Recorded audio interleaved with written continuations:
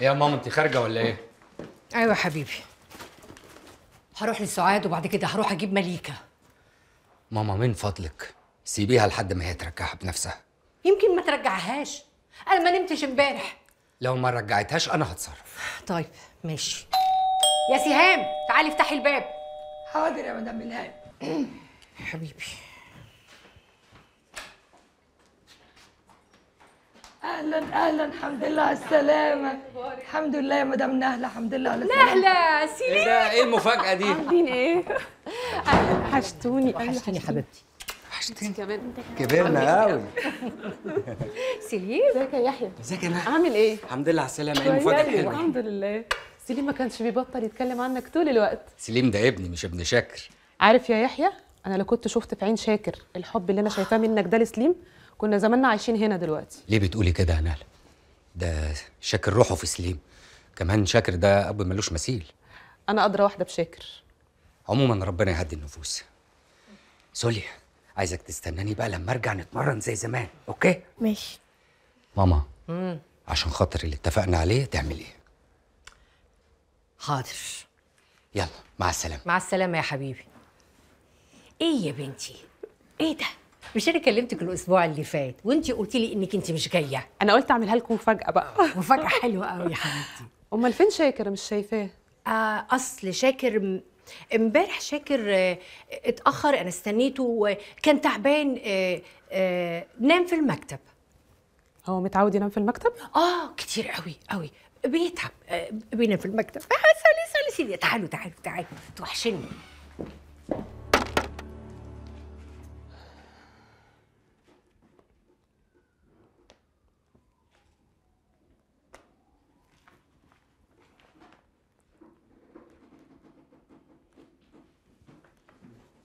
انت بتعملي إيه هنا؟ مالك؟ قلقت ليه؟ انت شغال في قضايا شمال ولا حاجة؟ ملوش لازمة الكلام ده ولو تقصدي على الورق القديم اللي انت لقيتيه ده ما يخصنيش. دي قضية كانت معروضة عليا ورفضتها. رفضتها؟ رفضتها إزاي يا شاكر؟ ده أنا شايفة مذكرة بخط إيدك هنا. وإيه يعني؟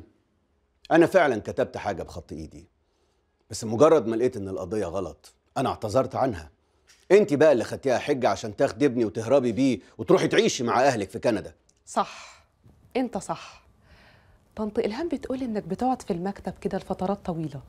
يا ترى بقى بتقعد في المكتب لوحدك ولا حد بيقعد معاك؟ يا ريت تحترمي نفسك والكلام ده غير مقبول. وبعدين انت راجعة ليه؟ عشان تسمميني بالكلمتين دول؟ عايزاك تعترف بحقيقتك وتقول إنك خاين. احترمي نفسك واختاري ألفاظك كويس. أنا مش خاين. الخاين اللي فجأة كده ياخد ابني من حضني ويهرب بيه بره البلد. وبعدين أنت سبتيني ليه يا نهلة؟ عادي كل الناس بتغلط. كنت ممكن كمراتي تقعدي معايا لغاية ما أصلح غلطي. أنت لو كنت قعدت أنت وسليم كانت حاجات كتير اتغيرت. وحاجات أكتر ما حصلتش. أنت هتضحك عليا؟ الشات كله بتواريخه كنت أنا لسه موجودة معاك. بس الهانم جمانة مسحت اسمها من على الشات. ممكن بقى تقول لي هي مين الحلوة دي؟ نهلة روحي اقعدي عند أختك لغاية ما اخلص اوراق الطلاق وابعتها لك. أنا لو عليا مش فارق معايا بس اللي فارق معايا أمك الغلبانة وأخوك المحترم. هتقول لهم إيه؟ ما تقلقيش عليهم. ما تقلقيش عليا. أظن أنا كبير بما فيه الكفاية اللي يخليني أعرف أنا هقول لهم إيه.